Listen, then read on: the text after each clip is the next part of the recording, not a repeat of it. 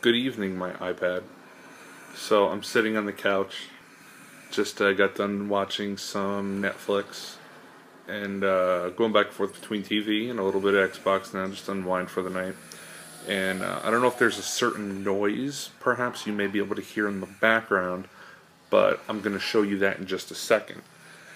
Because in this house, I'm the one who gets accused of being the loud sleeper, the snorer. Oh my god, you're horrible. I can't sleep because of you. I need background noise. All of that. That's what I get. So I just wanted to take a minute to point something out and share something with everybody. But I have to figure out how to turn the camera around here. Well, I can't, so this is what I'm doing, okay? I'm just going to put the camera on Christina so you can see her. Just listen.